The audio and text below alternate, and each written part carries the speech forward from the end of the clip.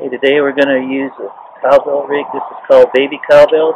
Made by Les Davis. Uh, we use it up here on the rim to fish at all different depths. Uh, the cowbell, or the baby cowbell, basically acts as an attractor for the fish. Uh, and we will go ahead and put some uh, fluorocarbon line on it to, to attach the leader and attach the bait. But first we're going to go ahead and attach the main line on the reel rod to the cowbell. This is eight pound test, braided line, stronger, more sensitive, has less stretch. let's tie it on. We're going to use a Palomar knot to make this tie, attachment to the, to the cowbell. So go ahead and make that Palomar knot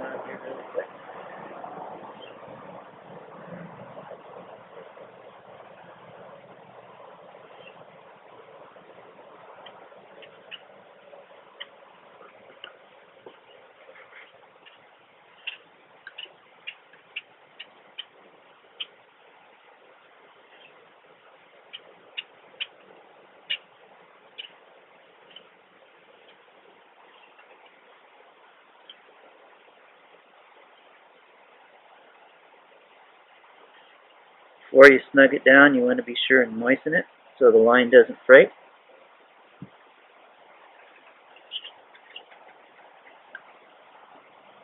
Then we give it a couple overhand knots just to lock it into place.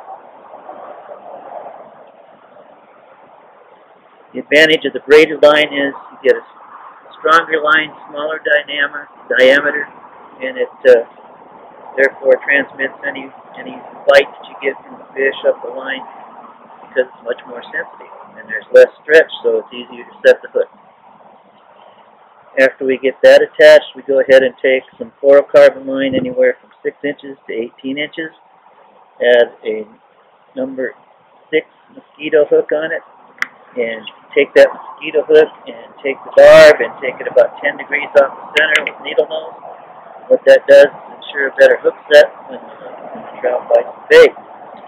We tip this off with a night crawler, inflate the tail of the night crawler so that as the fluorescent reflectors and the go through the water and attract the fish, then that tail of the fish, or the bait, excuse me, the worm, uh, will go ahead and wobble more freely because we've inflated the tail, thusly giving the worm more more alive increasing the number of fish that you catch that day. We're Woods Canyon Lake. It's about uh, 7 o'clock in the morning. Uh, the water's calm. The fish have gone deep. So what we're doing is we're setting up a baby cowbell rig with a, about a two-foot leader of fluorocarbon line. Uh, we're going to use a small number 18 treble hook. And we're going to put a night crawler on that, leave about one inch of the tail off. And we're going to go ahead and inflate that tail so it gives some more action in the water while we're moving in the water since the fish have gone down uh, to 10 to 12 feet deep and even deeper, we've got to get down to where the fish are at. So this is a rig we're going to use, and we hope to be successful with it. So let's go. Okay. Okay, this is the baby cowbell we rigged up yesterday. Take a night crawler, feed it up this hook.